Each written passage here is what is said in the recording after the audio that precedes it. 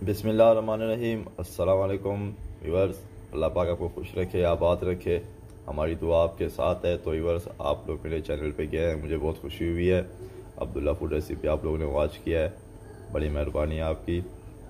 तो व्यूवर्स जो मैंने चिकनाव बनाया था, दूध में बाजरे का, एक तरफ़ पट्टी पे चलने का चिकनाव तो उसी के साथ मैंने कहा था कि मैं पानी भी बनाऊँगा। तो आज पानी बना रहा हूँ। यही पानी मैंने पिछली बार भी बहुत दफ़ा बताया हुआ है और आज फिर बता रहा हूँ।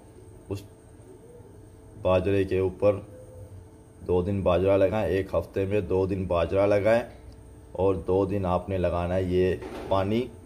बाकी बचेंगे दो और दो चार दिन गुजर जाते हैं, पाँच और छः और सात, तीन दिन जो है आपने सादा पानी रखना है, कुछ और कुछ भी नहीं देना।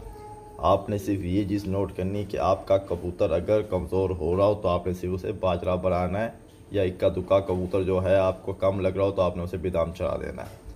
तो ये चीज़ एहतियात करें। और पानी की तरफ़ चलते हैं, पानी बनाते हैं।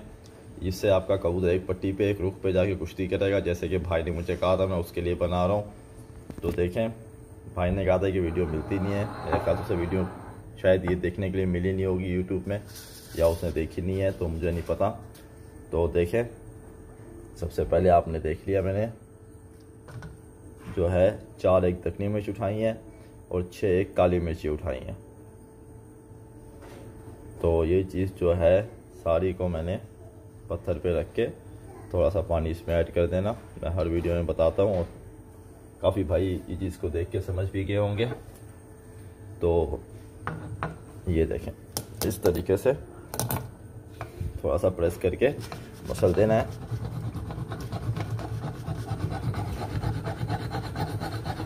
और इसी तरीके से आप जब मसलेंगे तो एक हाथ मेरे मोबाइल है तो इसके लिए थोड़ा मसला सही नहीं जा रहा है तो आप थोड़ा पकड़ के दबा के मसलना है इसे। तो फिर देखना आप कैसे ये मसली जाती है।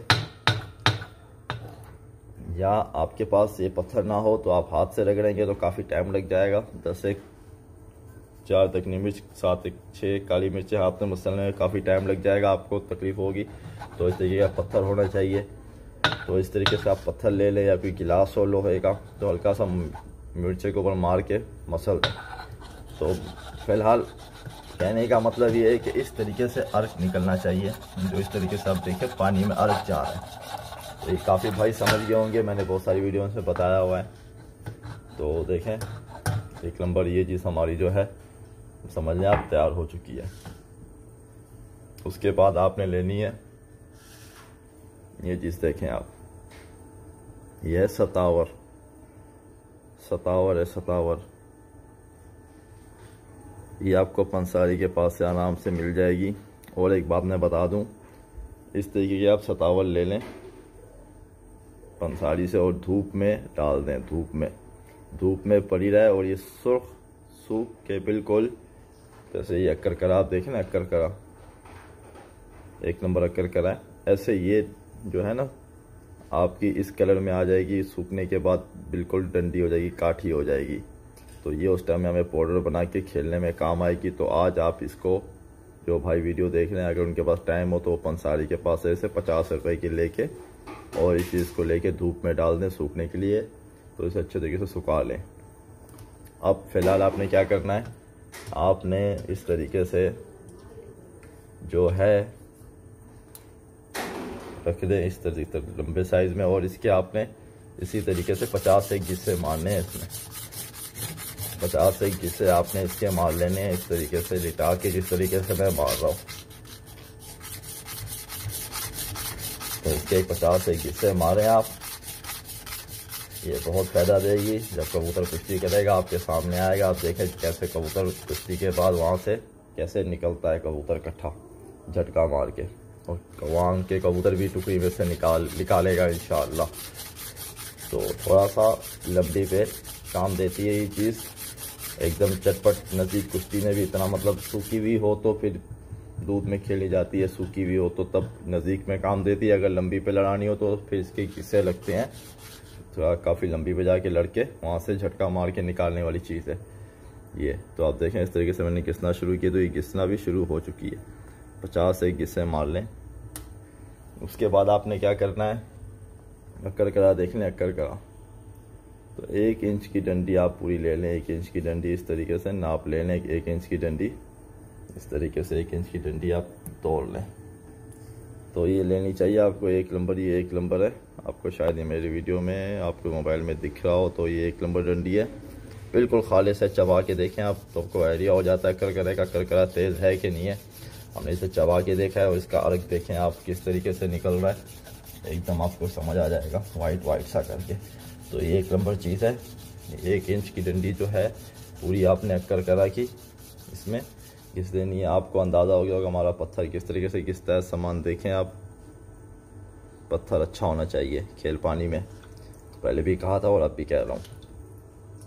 उसके बाद आपने क्या करना है? ये देखें। छोटी हड़ यह है छोटी हड़ बड़ी हड़ नहीं, छोटी हड़ इस हड़ के आपने इसमें सिर्फ़ तो सिर्फ़ बीस किस्से लगाने हैं, ज़्यादा नहीं। बीस किस्से। ज़्यादा नहीं खेलनी है, सिर्फ़ बीस किस्से खेलने हैं और खेलनी भी। सर, इस मौसम में, सर्दी के मौसम में, वही पचास कबूतरों के लिए बता रहा हूँ मैं। तो इस तरीके से गिनती के समझ लीजिए बीस किस्से हो जाए। तो थोड़ा दबा के किस रहा था मैं, मिस हो गया आपसे। तो इस तरीके से दबा के किसना जब बीस किस्से हो जाए तो आपने बस इसे रोक देना है। इस तरीके से अभी ये देखें, अंदाज़ा हो जाएगा आपको किस तरीके से किसी ये देखें। कितनी स्पीड में घिसी है ये। बीस गिस्से मारने हैं, ज़्यादा नहीं मारने। तो इसके बीस गिस्से लग चुके हैं। अम्बालदी ले लें अम्बालदी अम्बालदी के इसमें आपने बीस किस्से मारने हैं, ज़्यादा नहीं मारने। सिर्फ़ बीस किस्से। इस तरीके से बीस किस्से अम्बालदी के आपने इस पानी में मार देने हैं। तो पत्थर जो है अच्छा होना चाहिए आपके पास, जो अर्क निकाले। तो देखें, ये बीस किस्से हमारे इसमें लग चुके हैं। अब आप आ जाए, पीपल ले लें, पीपल। ये एक नंबर पीपल है, छोटी।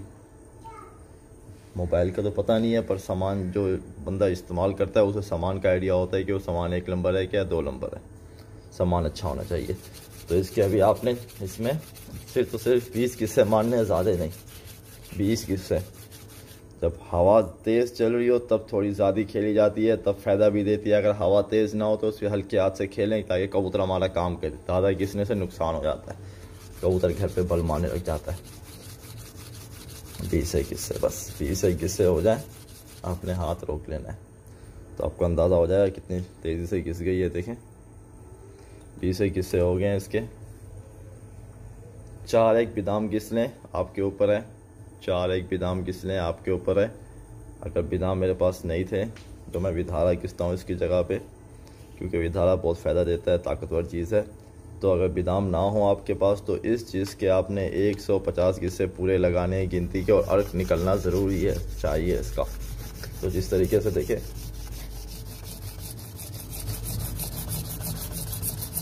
आप देख रहे हैं पत्थर के ऊपर इसको रगड़ने पे आवाज़ किस तरीके से महसूस हो रही है।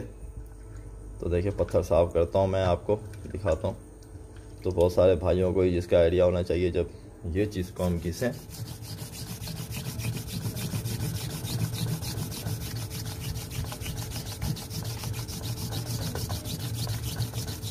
तो इसका अर्क जो है किस तरीके से निकल रहा है? पानी में भाग रहा है।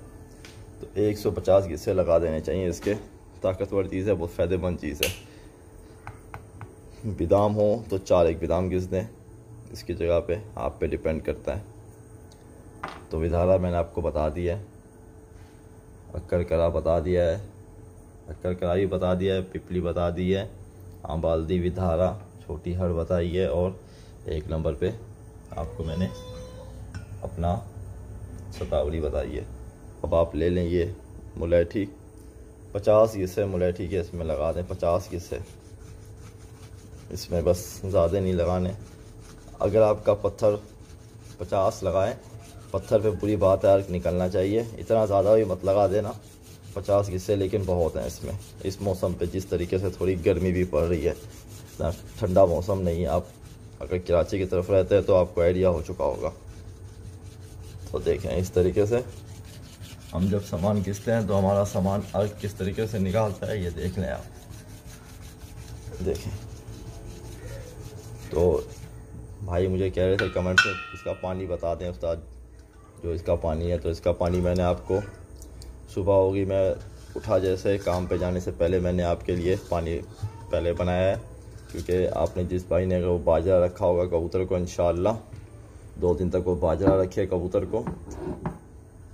जैसे वो बाजरा रख ले तो उसके बाद ये सामानों का वो पानी बनाए जिस हिसाब से मैंने बताया है।